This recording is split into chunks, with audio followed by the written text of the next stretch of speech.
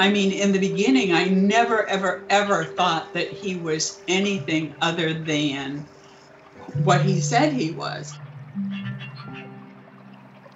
You know, he was able to smooth things over every single time. He was really good.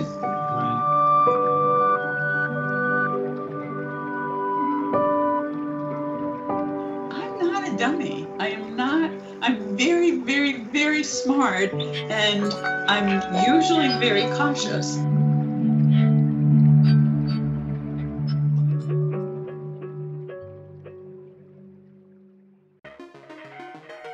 There is a secret crime that many individuals across the United States don't talk about. Every single day in America, hardworking, trusting, and honest people lose thousands of dollars totaling up to $143 million a year. Welcome to Scamfish.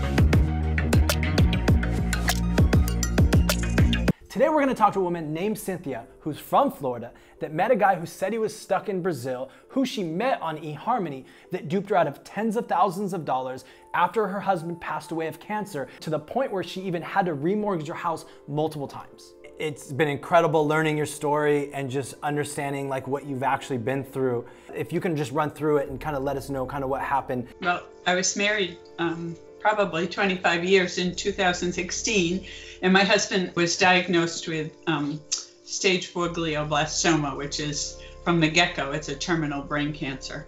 We started treatment in Boston, even though we lived in Florida, because we originally came from Boston. And from a medical standpoint, it's a lot better place to deal with that type of cancer. In the midst of his cancer, I was diagnosed with a fairly serious form of breast cancer. I became his caretaker as his health started to dwindle and do my own cancer treatment at the same time, which was exhausting emotionally. It was exhausting physically. There was a hurricane coming. We had to evacuate, which was a little bit stressful. Uh, I had to miss chemotherapy. He couldn't talk. We ran off to a different part of Florida to try to survive the hurricane not knowing what was going to happen to our home, which we had built, by the way. We built the house for ourselves to retire. That was our forever. That was our life. That was where we were going to spend our old age. But life had a different, a different trajectory for us. We came back from the hurricane in September, and he went down here very quickly. Um, he was still mobile, but we brought hospice in to get things in order. I had my last chemotherapy treatment the day before he passed away. He was he was probably three days in a hospital bed in my bedroom, basically unconscious. Yeah. And it was me. It was me and the dog. But I didn't know how hard it was until, again, I went out with this creepy guy, but realized that there was something I could feel what I was missing, even though he was creepy. So that's when I decided that I would I would see what the whole online dating scene was about. Well, then I was actually on my flight to London when the eHarmony guy popped in. And what was his name? His name was Glenn. Glenn. His name was Glenn Hoffman. Gave me his whole life story right off the bat.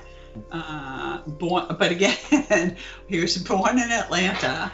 Um, but when he was five, they all moved to Germany because his father was in the military, you know, and he'd worked for Delta Airlines and he'd been in the Navy and yada, yada, yada. And uh, right off the bat, at one point, he had written just something that was just so lovely and and deep and and I said to him, "You've really blown me away with this. I I don't know many men that think this way and are so verbose with their words about it."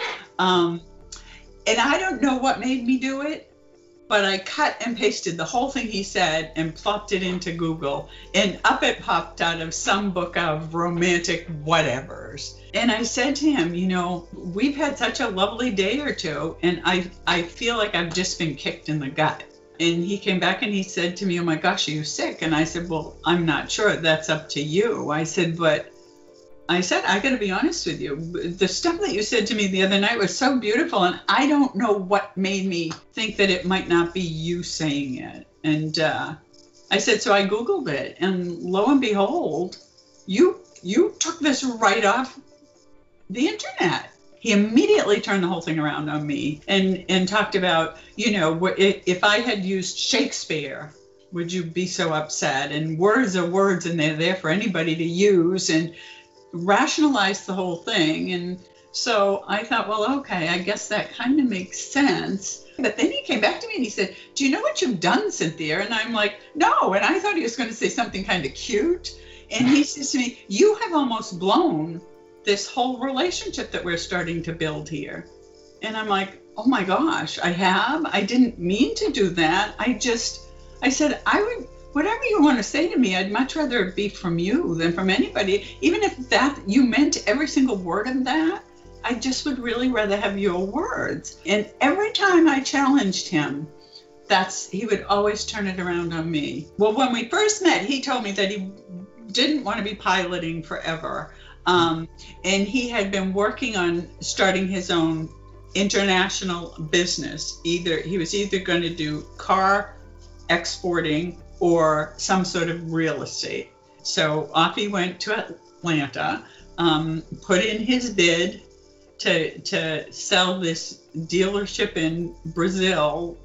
I don't know, 49 cars or something. Um, and two days later, t- told me he got the contract, and without me even asking, sent me a copy of the signed contract. He got no, he got all the cars, and he got them all to Brazil. He got them all to Brazil and that's when he started asking me for money. He had lent this friend a quarter of a million dollars to keep his business afloat. And so I'm going to reach out to him first. So I said, Good. If he owes you a quarter of a million dollars, you should have no problem getting 30. And it's been a year. So, um, and he said, And I haven't ever asked for it back. And I said, Well, good. You do that. Um, then, of course, you know, he came back and, oh, the guy doesn't have it right now. You know, in a couple of months, he'll be able to give me 60, but right now he can't give me anything. So, and uh, I, I don't know how he convinced me. I don't know how he convinced me on that one. Supposedly, the friend that could give him 60 gave him 60, and then he came back to me.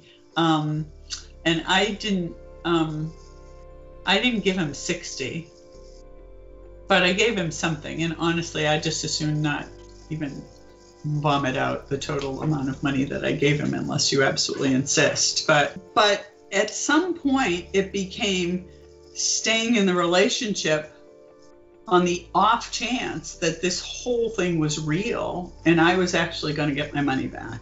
I sold my house twice. I sold my house twice. I sold it once and rented it back for a ridiculous amount of money because he said to me, Well, I'll be home and we can buy it back or we can leave. Or, um, and then when I couldn't afford that ridiculous rent anymore, I sold it for real. The first time I sold it, he got the proceeds. I mean, I did. I had a huge mortgage on the house. It's not like I owned it outright, but but what I sold it for, he got most of it. And the second time I sold it, I kept it all. I took advances on my credit cards. I pretty much wiped out my 401k. Um, and I went and I didn't know that this was wrong, but I he he would give me names and bank accounts of people that had accounts in local banks. I went to Chase, I went to TD Bank, I went to Wells Fargo, and I had done a, a, a large deposit into an account at, at Chase Bank, and um, and the money was pending apparently in the guy's account and then all of a sudden it wasn't pending anymore so is he saying he's still in brazil then? He's still stuck in brazil? Yeah yeah. Now it's because now it's because the last bit of money to get him home stephen who's supposedly been his driver and bodyguard through all this and who i've talked to on the phone supposedly um, stephen uh, borrowed the money from drug barons. And if he doesn't pay it back they're going to kidnap his children and burn down his house. And so Glenn can't, Glenn's free to leave Brazil now, but he can't because Stephen's been so good to him all this time and he can't possibly leave. I asked him if there were any new developments in his life, and he said, No, are there any new developments in your life? I mean, like nothing was going on at all. Yeah, it's kind of like he's washed his hands of the whole story because he knows that there's no more money coming. And honestly, I'm not really sure why um, maybe they if they hang on long enough, but there's just nothing. The conversations are, are his sentences are two and three word sentences, and mine aren't aren't much more. And so I really believe with all my heart that as hard as this is, it's gonna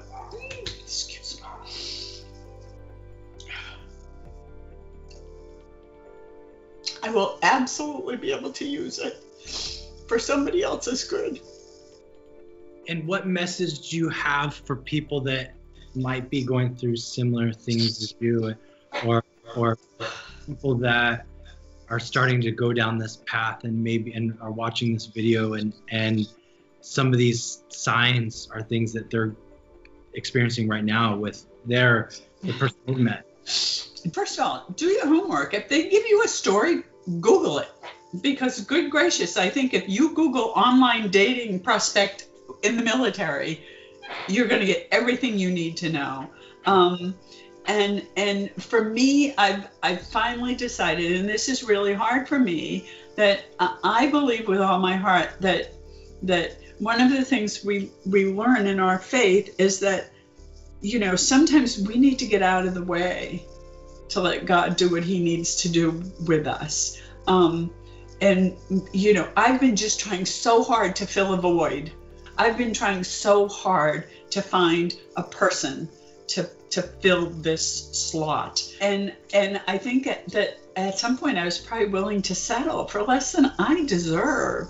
So I would say to anybody, I can't speak to men because they think very differently than women, but but for any woman out there, um, and again, I'm still learning and I'm not sure I believe it yet, but we need to be comfortable and strong and, and secure in in the women that God made us to be.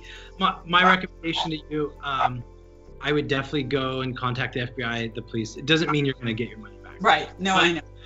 But there might be some money out there, or at least some ties. Like if you're depositing money to other people's accounts, and he was telling you that they're relatives or friends that are going to help, like get the money to him, or like maybe they're involved somehow, and they can go after them. I will. I just need to get past the shame of spitting it out. And hopefully, I'll find somebody who's at least a little bit compassionate. Because I know people are going to think, you know, lady, you're just a fool and you deserve what you get. But there are people that, that aren't, that know how this works or that have, have somebody in their family. Or, uh, I mean, I know that people take their own lives over this stuff. That's just unthinkable. This is like the worst type of scam because it's not just you know, you hear different scams where, you know, they go and they, you know, steal $500 for uh, utilities and, you know, scamming you out of different things like that. And then they're gone, right? Then they disappear. But this is the worst type of scam because they get you emotionally attached and they just take everything out of you and everything from you. And it's, it's, it's terrible. It's absolutely terrible. They're stripped um, naked, basically. Yeah, emotionally and financially. well, stay strong. You know, like I said, this will pass. This will pass for sure. Um, we really, truly appreciate you, you know, telling your story and, and being courageous, courageous enough to do it. I know there's probably a lot of, you know, emotions that you're going through right now and that you've gone through. Um, so I definitely appreciate you taking the time to, to tell it you know, hopefully this will help somebody out, you know, in the same situation. You know, we're here for you. If, if you need anything, just feel free to reach out at any time, okay? Oh, thank you, David. No problem. Well, you have a great evening. Um, and again, thank you so much for your time. No worries. You take care and God bless. All right, you too. Thank you. Bye-bye.